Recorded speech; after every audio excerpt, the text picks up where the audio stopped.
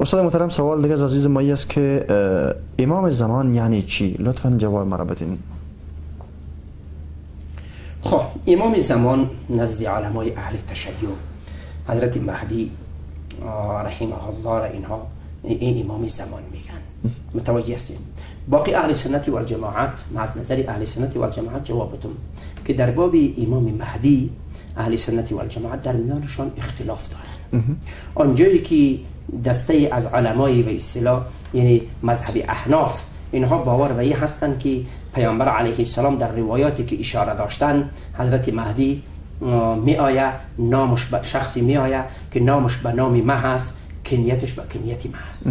نامش محمد است کنیتش ابوالقاسم است. می آید و او از خاندان و از نسلی به اصطلاح عرب می باشد از خاندانی به یک تعبیر تحقیقی مولانا ابوالحسن علی ندوی رحمه الله از خاندان حضرت فاطمه می باشد. در نزد اهل سنت و الجماعت که این می حضرت مهدی در قرب قیامت می و حضرت عیسی از آسمان پایان می شود دجال می کشه نماز دیگر امامت می‌کنه حضرت مهدی و حضرت عیسی در عقب یزی و در امامت یزی نماز دیگر می‌خوره این دلیل به است که حضرت عیسی پیامبر نمیآید از آسمان. و به شریعت محمد رسول الله صلی الله تعالی علیه و سلم عمل می‌کنه این قسم روایات ما و شما در یعنی لابلای این تحقیق ما داریم.